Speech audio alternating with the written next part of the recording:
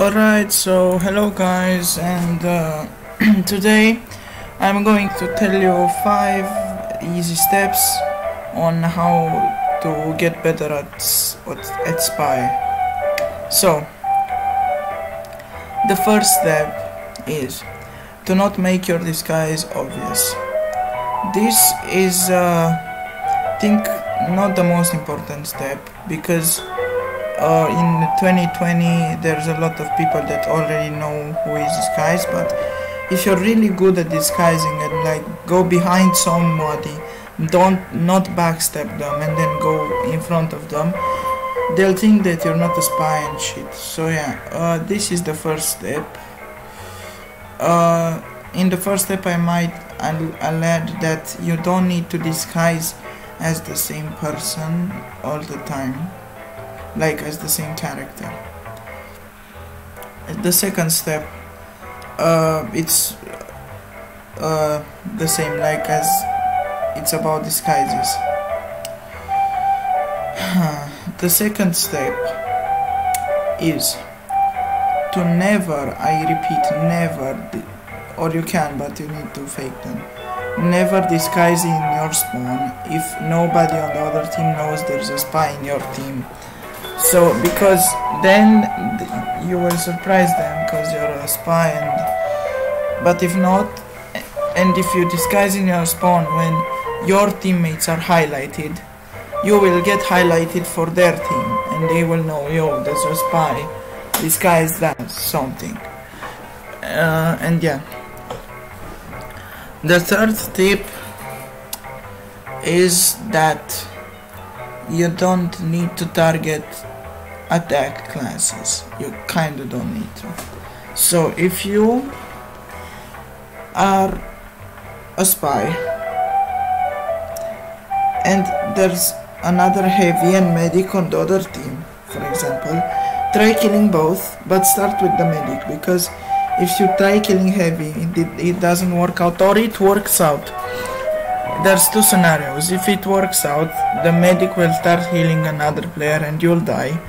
If it doesn't work out, you'll die. But if you kill the medic first, you kill their support class and their team is easier to kill and the heavy. And if you kill both because you're coming from the back, you can kill both the heavy and the medic, and so you get uh, a double kill and they don't have neither a heavy or a medic so yeah that was the third tip i think. Yeah. The fourth tip is about uh, general like uh, how how do i say this? Like general uh, loadouts loadout loadouts. So if you want to rock the uh, it's by watches sorted by watches first and then by knives and then by guns. So if you want to go with the cloak and dagger. You need to have the uh, big earner i think. Yeah the big earner because you don't want to stay in the in the same place and the big earner gives you a little boost. Then if you have the the, the uh, the Invisi watch you can rock whatever knife it doesn't matter. And if you have the dead ringer then you need to rock uh, your eternal reward. And you need to disguise as your team. I repeat your team. You do this by going in the disguise and pressing r. And then you switch teams and disguise as a player in your team. So if you die it's not obvious that you have a dead ringer. Okay so this was for this for the watches now for the knives big earner uh, big earner you might rock the ambassador uh, on uh, the the regular knife. You can rock whatever. And on your eternal reward you might rock the uh, the shit the I forgot what it's called. Either the stock revolver. I think yeah the stock revolver is the best. And then for the pistols I'm not gonna say it's obvious. You can get because of the stats. Like get whatever you want. Okay. So for the fourth no. Fourth or fifth I forgot I'm fucking stupid I forgot. For the fifth tip is how to switch your weapons in uh, in your loadout. So if not in your loadout uh, in your disguise. So if you have a weapon in your hand uh, like you disguise let's say as medic.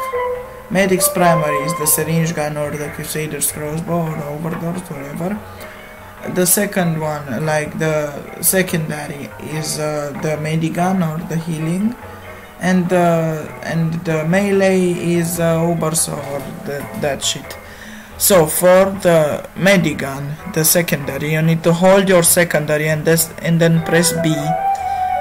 And your uh, under your disguise it will say holding medigun or something as primary you need to hold your primary and hold B and press B and as uh, melee you need to hold your knife and press B. It's really simple.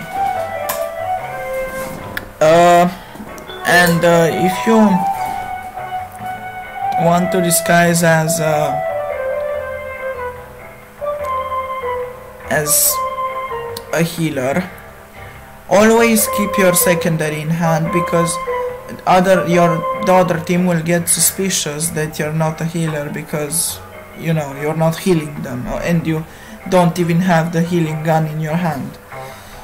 So yeah you can go behind enemies really good with this and yeah. The fifth or bonus tip I don't know I'm fucking stupid again uh, is the one uh, yes.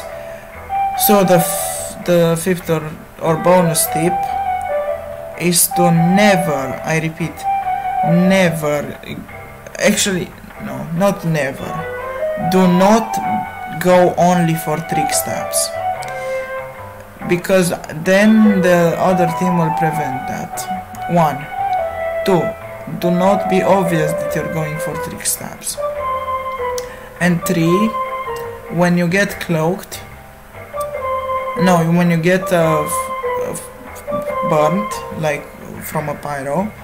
Do not get out of your disguise because the burn runs out quickly when you're not your disguise your cloak. The the burn runs out quickly when you're cloaked than when you're not cloaked.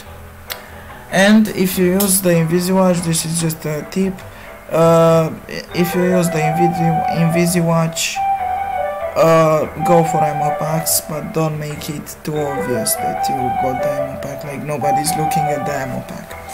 And if you get the, if you have a disguise uh, do not like pick up.